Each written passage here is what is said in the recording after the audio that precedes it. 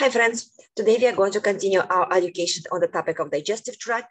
And in this lecture 15D, we are going to talk how to deal or how to treat by natural means functional liver disorder or liver deficiency. We are, we are going to talk about food, supplements, and how, you, you, how it will help your symptoms such as nausea, bitter and sour metallic taste, dull right upper quadrant pain, fat intolerance or dislike stool, and sometimes discolored kind of greenish stool. There are two sorts in naturopathic medicine how to deal with functional liver disorder. One is just stimulate the liver. The second one is first feed the liver and then stimulate. Obviously, I belong to a second group and I experiment with my patients and I you know, confirm my, my thoughts. That's the best uh, approach because if your liver looks like that, sick and tired and has no energy to work, then no matter how much you stimulate it, it's just not going to happen. Now, let's feed the liver. In preparation for this lecture, I did a little bit look on the um, internet for possible solutions. And um, almost every single website suggests that you do drink coffee to uh, stimulate the liver. I am not a big fan of coffee, okay, unless it's taken as a coffee enema. The second second um, uh, product is always um, juice of uh, grape juice, grape, grapefruit, grapefruit juice. And um, I'm not a big fan of juices either.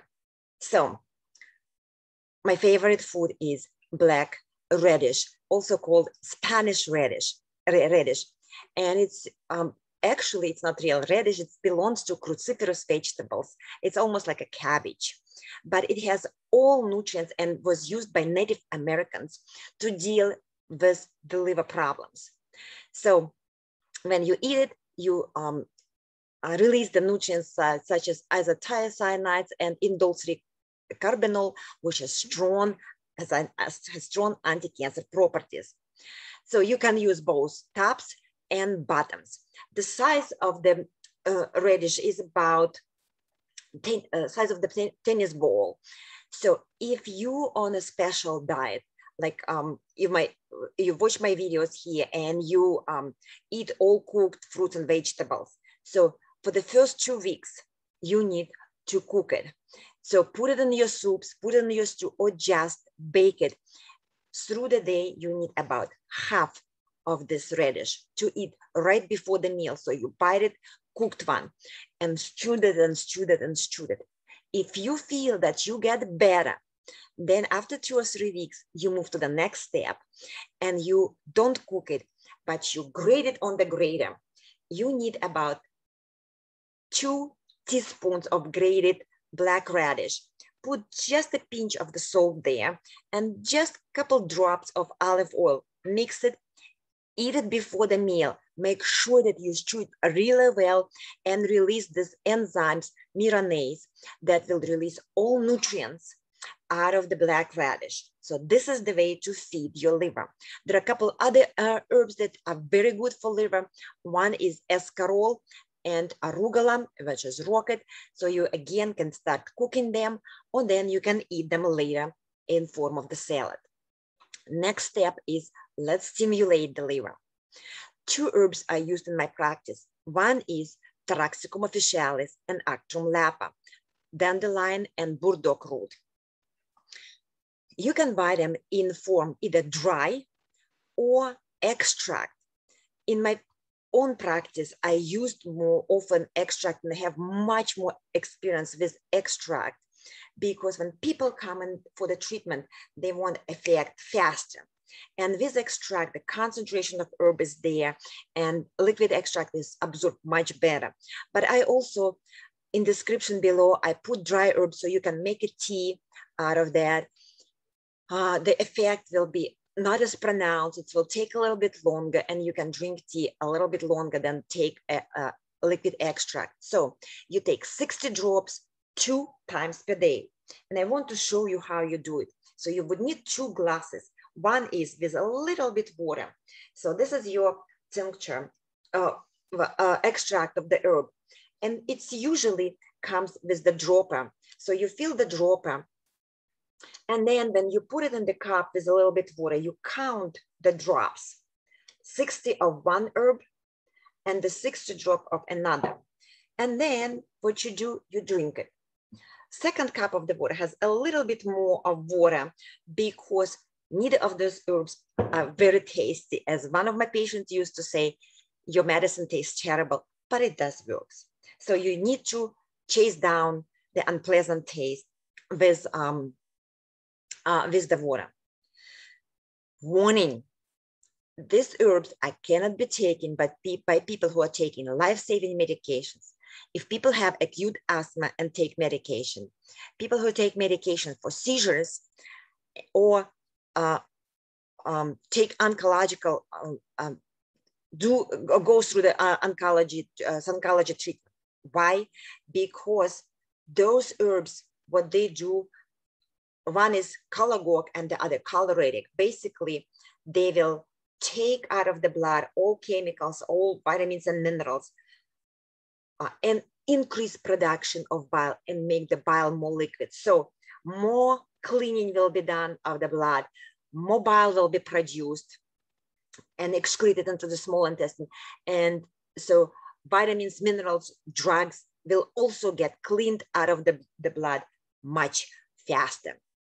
Finally, second is second supplement is milk thistle. So you also can put milk thistle, 60 drops right into that mixture that you put dandelion and um, artrum blend. Warning, you cannot do this, you cannot take this supplement more than one month. Also, you can do it only two or three times per year for one month because, as I said, they will clean everything out of the blood, good or bad. And it may create a disbalance in your blood. Now, guys, that I am I finished this presentation, I want to tell you a story about those two herbs. And the story goes following. It was it happened several years ago when I was still in practice, and patient was scheduled. She was she was in need. She was sick. I need appointment tomorrow, so she was scheduled for uh, during the lunch break for me. Patient comes in and tells the following story.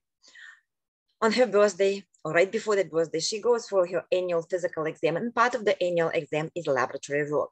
So she gave the blood, and next day, family goes off for vacation. A couple days later, she get a call from her primary care physician, tell her that laboratory work is very abnormal. Patient was stunned, but not to the point that she was able to ask the question. So she asked, what kind of abnormality is there?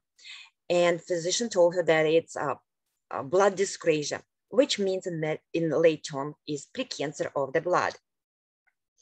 Patient asked, uh, what should I do about that? And uh, primary care physician said that for the three months, we are going to do nothing about that. You come back in three months, we repeat the laboratory work. And if it's not better or if it's worse, then you go to oncologist. And we have great uh, group of oncologists here in, in our area. So she goes on the internet, look for the oncologists in our area, find the group that I'm a part of, and calls and schedule appointment for the next day as fast as possible because she has no time. She has only three months to act. She wants to be proactive.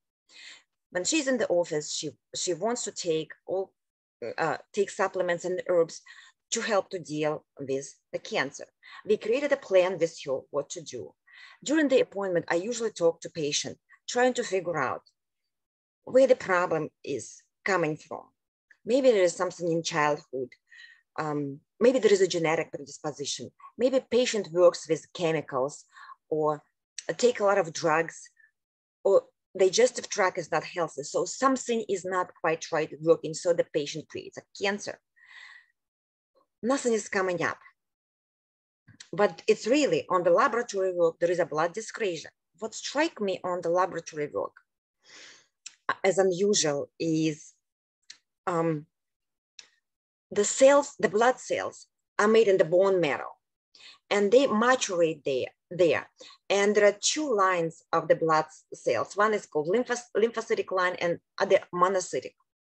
And usually people will have cancer, either one or the other. She had dyscrasia, blood dyscrasia in both lines. So I was thinking, that's very unusual. And it's if it's going to be cancer, it's going to be aggressive. And what I saw in, in my office, a very happy, very upbeat patient. So the picture of laboratory work and the person that I see don't, don't fit together. Because the appointment was during lunchtime, at the end of the lunchtime, front desk person just storms into the office in order to prepare for the next patient and said, oh, excuse me, I forgot that you have a patient. So I said, well, now that you're here, can you give us a tea, please, for both? Patient said, uh, for me, it's just hot water, please. She opened her bag and she said, I have a wonderful tea that I, I like to drink. Do you want to try it? And she get the bag of tea out of the bags. I said, well, I don't, I don't care. Sure, why not? It's a wonderful tea. It's uh, slim. It's anti. It's detox tea. The moment she said this word, detox, my eyes get open, my ears perked. I said, "Give me the steam." I looked at the bag, and sure enough, the ingredients of the tea: dandelion and burdock root, cholagogue and choleretic. I said to patient, "This is the cause of your blood dyscrasia." Patient was stunned. She did not believe me. I explained her that when you take cholagogue and choleretic, they will take everything out of the blood and they will put into your small intestine and you will excrete it. The bone marrow, in order to, to make a cells nice and mature and round cells, it needs all kinds of ingredients. It needs nutrients, it needs vitamins and minerals. And what happened, cholagogue and choleretic, Actrum blend and burdock uh, Arctium lappa and dandelion root, they took all these nutrients. So your bone marrow cannot make those cells nice and healthy. So as a result, in the bloodstream, we see all kinds of dysfunctional cells. I said, this is it. Scratch our cancer plan. Here is a new plan. Stop the, the number one. The second is you will take several supplements, vitamins, minerals, all and other supplements on a liquid form to replenish the nutrients that get excreted through the liver. Patient left. Patient never come, never came back. Two months later, I get a mail from her. She say she was saying that she wasn't able to wait for three months for the laboratory work, but she did all that I told her, discontinued the herbs, the, the, the, tea, take this and this and this supplement. Laboratory work was fine. This is example, guys, for you to understand herbs do work. Do not play with herbs. Don't, don't assume that they are totally benign. When I saw patients in my practice, I was by their side. I, I scheduled return appointments. I looked for the sign of improvement. I looked for the side effect of the herbs. I did the laboratory work. Here on the internet, you are by yourself. Okay, so you need to know exactly what you are treating, what kind of herb supplements, what kind of drugs you are taking, what the side effect. Look for the cause of your disease. Try to understand, if possible, what's the cause, how you're going to deal with it. Create a plan. This is the goal that you want to achieve. And ask your primary care physician if you're taking herb or supplement, know their side effect. If you're taking the, the drug, ask how long I'm going to, to take it, what are possible side effects, and when I'm going to discontinue. And when I'm going to discontinue, what are going to happen to me? Am I going to be healthy again? Or I'm going to back to ground zero with the same problem. Okay, guys, I'm done. Thank you very much. Like, subscribe. Bye-bye for now.